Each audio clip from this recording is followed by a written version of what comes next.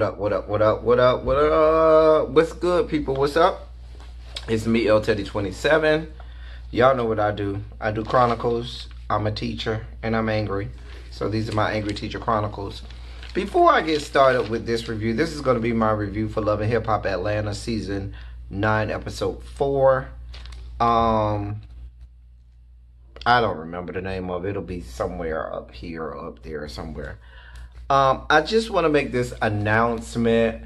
This might be my last Love and Hip Hop review because while I love doing Love and Hip Hop Atlanta reviews, and I do think that they are my funniest reviews. Like when I went back and I binge watched all my season 8 reviews, those were some of the most hilarious videos that I think I've had the numbers just don't support it. So I could just make videos for myself and watch my own videos and not post them on YouTube and waste time.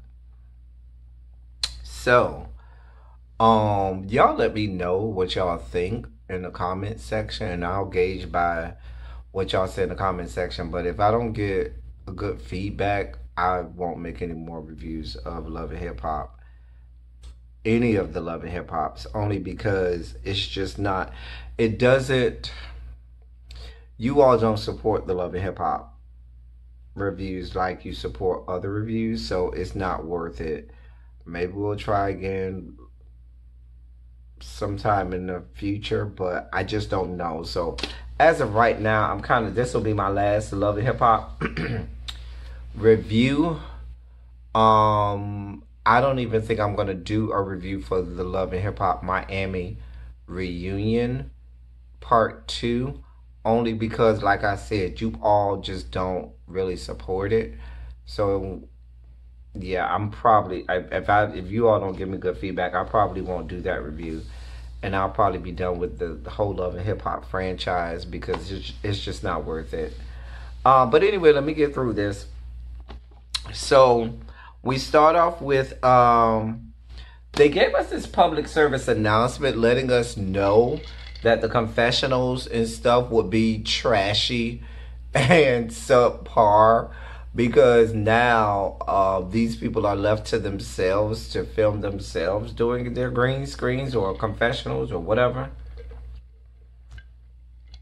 I mean, the footage has already been taped, but what happens is they'll go back and like they'll have you know each person go back and film green screens or confessionals or whatnot way later on. And so with everything going on they couldn't really do that at the studio and things like that. So now they're asking these people to do it at their own homes. And y'all see how how jacked up some of them look. Some of them tried to fancy themselves up but the camera quality wasn't good and like um colorism Keisha and KK, they look like they tried to glam up for theirs, whereas Devil Dick and Mimi just didn't give a shit. So yeah, it was kind of funny to me to see that, but it is what it is. We got to stay safe out here. So we see Mimi. She's in this. Um, she's been taking self defense classes. We know since last season after she was um um, somebody tried to rob her and stuff like that. She invited Karlie, Spice, and Shekinah.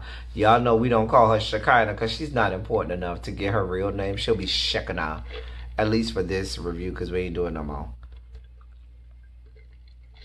So Shekinah, Karlie, and Spice um, came with her.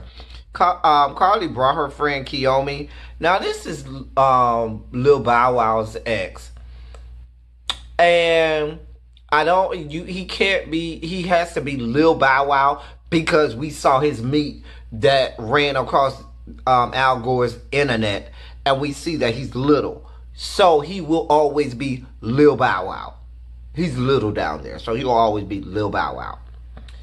Anyway, can somebody? I don't know this Kiyomi chick. Can somebody let me know? Cause I just thought that I'm just assuming is she a trans woman?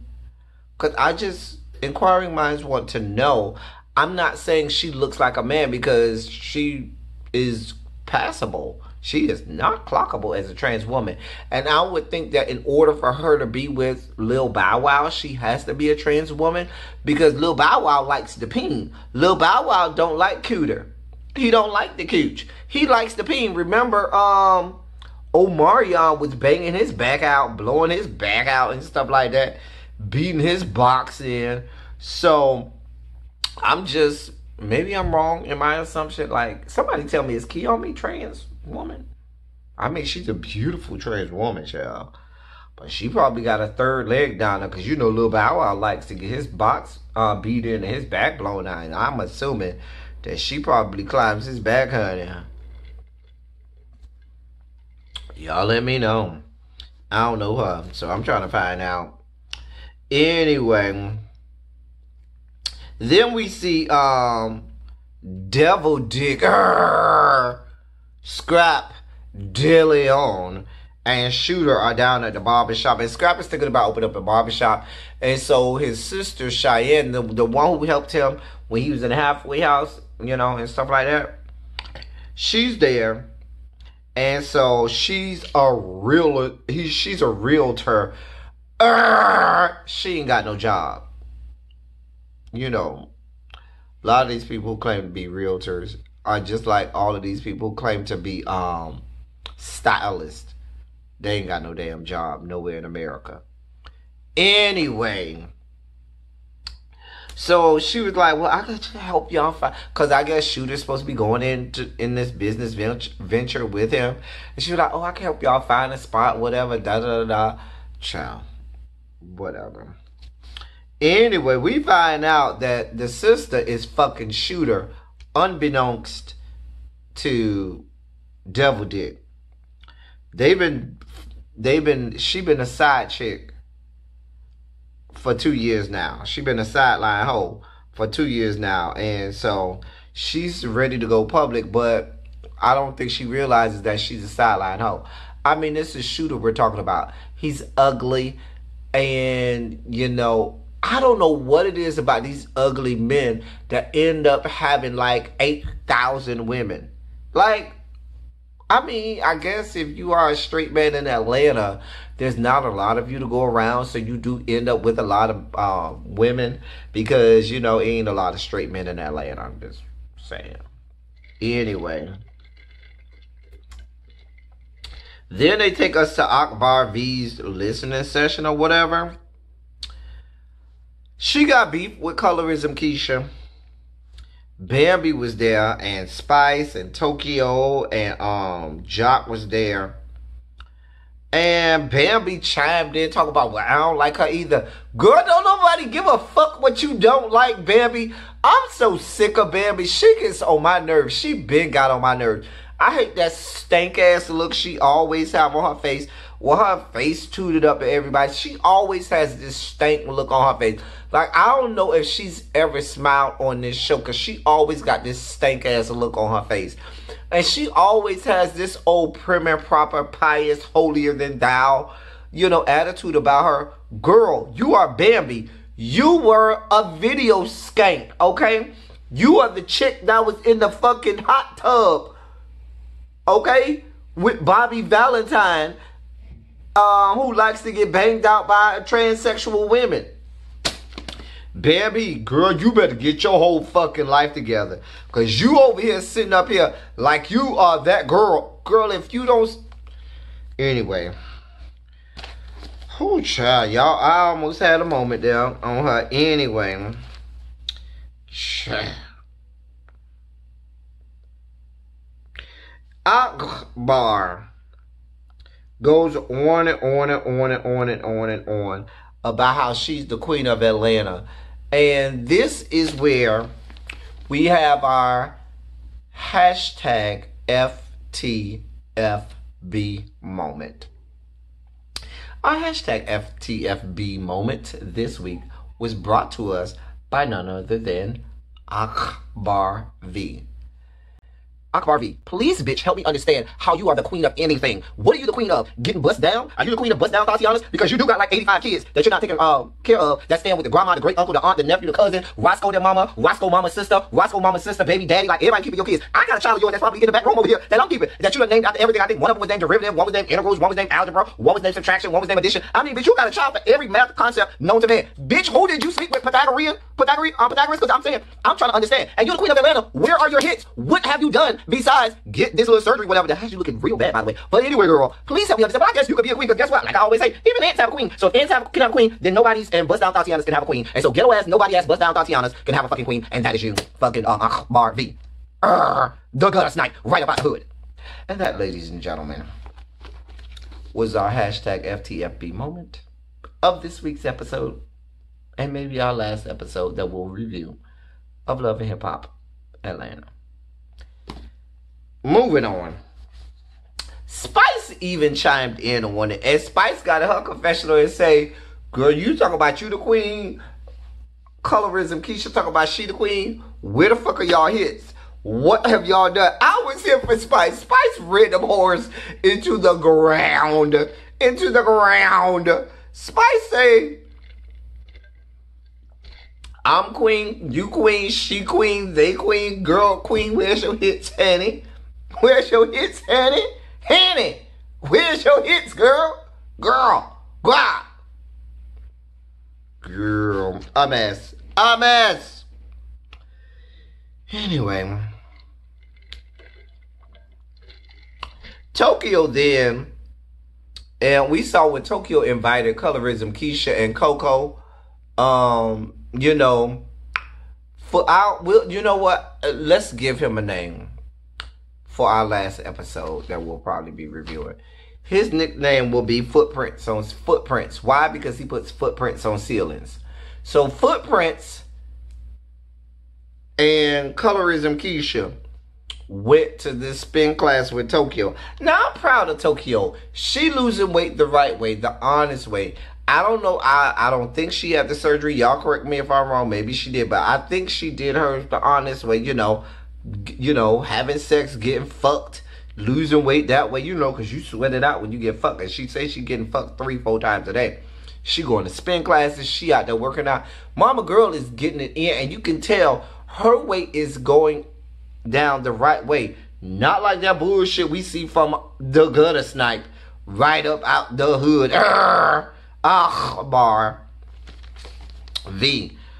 A mess. Anyway, I ain't had no time for this conversation because I'm I'm already tired of the conversation between the gutter snipe and um colorism Keisha. Already sick of it. Sick of it. Say it with me. Not sick of it. I'm sick of it. Okay. Then we at the Devil Dick's party. Now Devil Dick is having a party because he been out of jail for a whole um year. So, um, him and Kirk brother talk. We got two ex-cons talking. We don't want no parts of that. There's nothing that I want to hear that y'all are talking about unless y'all are ex- exchanging stories of how some dude in prison slid his, you know, um, put his sugar I mean, I'm sorry, put his spoon in your sugar bowl, or you put your spoon in some dude's sugar bowl in prison. Unless you're talking about that, I don't care. Moving on. Then you got KK trying to give advice to somebody, which is unbelievable. Now, that is the most, you know, unrealistic thing in the world. KK giving anybody advice on anything. She over there talking to Mama D trying to give her advice on how to deal with CC. Good, I ain't here for that, KK. Move your ass on. Then we got Karlie. Joc comes up to Karlie. Karlie claims some Joc want her so bad. Oh God. Karlie, girl, you want somebody to want you. Meanwhile, back at the ranch, where the fuck is Kendra? Because if you're supposed to be engaged and y'all supposed to be getting married soon, what the fuck is this whore? Because if you got all these problems with all these women that Joc used to have, and the fact that Joc is a player, Why the fuck, Kendra, your ass ain't always on the scene? If I had a man like Joc who got 39 kids and flirt with anything moving, my ass would be attached to him by the hip. Every time that bitch goes somewhere, where's Kendra? She right here. Where the fuck is this bitch at? And how the fuck are you getting married real soon, but you ain't never out with your uh, future husband? Girl, make that shit make sense. But I told y'all, I don't know how much of of Kendra being a lawyer I believe, because she don't seem that bright. Paralegal, maybe. We're gonna call her paralegal Kendra because I refuse to believe that she has a law degree and she um, has passed the bar anywhere in these yet to be United States of America, being as dumb as she is. Cause she been dumb since, since she been on the show. That bitch is stupid. Moving on. And then we see Shooter and Cheyenne getting flirty. But this is the same Shooter who said he didn't want this this to go public yet. Child, we'll see. KK saw them too. And KK mentioned it. So we left the party. Obviously, it wasn't much of a party because, baby, they left that party. You know, if they put your party in the middle of the episode, your party ain't hitting on nothing. Because Mona will put your party at the end. But if your party ain't hitting on nothing, she ain't gonna have your party. Meaning, if your party ain't got no fights and no fisticuffs and no drama, Mona ain't putting your party at the end of the episode. She putting it in the middle where she can hide it. Kiyomi is at some photo shoot with Shooter and all this, that, and the third. Child, they dating too. You know, shoot. Oh God. Like I said, he's an ugly ass motherfucker. But when you're a straight man in Atlanta, you can have you 19 girlfriends because there ain't too many straight men in Atlanta. So I guess she live in Atlanta. She looking for her piece of dick that like cooch. So she stick with Shooter. And he's dating her. Now he says that this is an open relationship right now. But he likes her more than he likes Cheyenne, child. We'll see how Cheyenne takes that. and I mean, uh, boy, this is Shooter we're talking about, y'all. This is just your run of the mill, ain't shit ass motherfucker. That bitch ain't even that fucking cute. That bitch better be built like a motherfucking horse downstairs. And he don't give me that he is. So I'm looking like, girl, gullible ass Atlanta women that will sleep with any fucked up ass straight man in Atlanta because it's so hard to find straight men in Atlanta. God bless your hearts. Anyway, moving on from that. Bambi decides that she wants to have this family dinner. So Bambi, Scrappy, E Money, E Money, because that's how they say her name, E Money, Braylon, Mama D, and Cece go out to dinner, ain't? I don't know how they expected this to go well. Y'all know Mama D and her antics. Y'all know um crackhead ass Cece ain't wrapped tightly either. How did they think this was gonna go well? But we're talking about Bambi, and that bitch is stupid as fuck too. That bitch ain't the um sharpest knife in the drawer either. That bitch been is you know she ain't too bright either. So her stupid ass probably thought this was gonna work. That somehow this was gonna work out.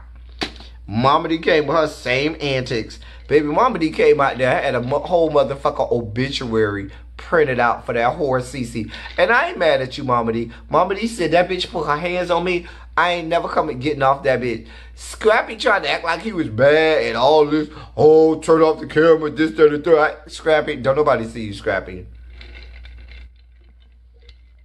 Don't nobody see you, Scrappy. Ain't nobody scared of you, honey. Definitely ain't Mama D. Child, and that was that. Child, you knew nothing was gonna come out of that. I never bought Cece Bambi's um mama, but it makes sense because Bambi looked like she was a fucking crack baby anyway. You know, Cece was on crack, so I assume she was probably on crack when she was pregnant with Bambi. Bambi looked like a fucking crack baby anyway. Fucking crack baby ass Bambi. That's what we gonna call Bambi, the crack baby. At least for this last review. Anyway, Devil Dick is at his restaurant. Now, Devil Dick is doing something good. He's giving out free food to the community at his little seafood spot. While I'm here in Atlanta, I'm gonna have to go by and check out his little spot and see if I can catch Devil Dick down there. Y'all know I see it for Devil Dick. Hopefully I catch him down there. Anyway, um, KK swing by. KK stops to talk to Cheyenne. She tells Cheyenne, "Hey, boo, I saw you in um Shooter, and y'all was all hugged up. What's going on?" So Cheyenne tells her about her Shooter. She said, "Well, do um Devil Dick know? Nah, he don't know. Well, are you being a hoe? Like, what is you doing? Like, y'all been together two years. Like, what the fuck? Are you whoring? You know, hoeing, sowing, new things growing. You know what I'm saying? Hoeing, sowing, new things growing. anyway, come on now. You know KK don't pull no punches. She like, do I look like a hoe? Yes, bitch, you look like a whore. You look like a whore and a hoe. But that's not, you know, because Love and Hip Hop is here for the proliferation of hoes and skanks across the fruited plains. We already know that. Anyway. She said, Cheyenne said, well, I'll tell Scrappy when I'm ready. KK looking at her like, girl, you better tell him before I tell him. Because, champ, you know how KK is. Lastly, we end with Colorism Keisha at the radio station, at Joc's radio station for an interview. Colorism Keisha came there to do an interview. Next thing you know, Joc and the chick that's on the radio with him ambush her, talk about, oh, we know you came here for this, but we got, um, Akbar, the gutter snipe, right up out the hood. She wants to talk to you. Color, and they got her on some little screen or whatever. Colorism Keisha did exactly what I would do. Y'all got who to do what? No, bitch. I didn't come here for that. I came here to interview by myself. That whore is not a part of my interview. She ain't make this record with me. She ain't making no money with me. She ain't on no interview with me. Fuck you. And fuck that bitch. I would have did just like um Keisha. Because colorism Keisha was right. That shit was disrespectful. Joc them wouldn't have pulled that shit with any other artist. And that shit was messy as fuck. And I would have did just like her. That bitch got up, got her shit, and walked out and said, Nope, this is over. I don't give a fuck if y'all in the middle of this. This is over. And I don't blame her. She left and kept it moving and was like, Nah, you ain't gonna disrespect me like that. And I was with her. That shit was unprofessional. It was messy as fuck. And colorism Keisha was right. I was with her 1000% on it. She had it right. I would have did the exact same thing. I ain't gonna let y'all sit here and disrespect me. Yeah, this whole on my interview, you told me you were interviewing me, not me and her. If no, we're not doing that. I ain't scared of her, but I ain't giving her no shine, not with me. Anyway, I'm gone. That's it. I'm out. And just like that, I'm out as well. That was Love and Hip Hop. Season 9, Episode 4, which will probably be my last episode of a Love and Hip Hop that I would do. It's been real. It's been fun. I've had fun doing it. And like I said, some of my best comedy has come out during my Love and Hip Hop reviews. But I'll keep them to myself. If you all think I should continue, I, really have to have a a good amount of feedback in the comment section uh, or some numbers or something, but the numbers just don't support me continuing to do Love and Hip Hop Atlanta. So I think I'm gonna be done after this. With that being said, I'm out, y'all. It's been real. Thank y'all for coming. Until my next review of something other than Love and Hip Hop. Y'all drive safely. I'm good. I'm out.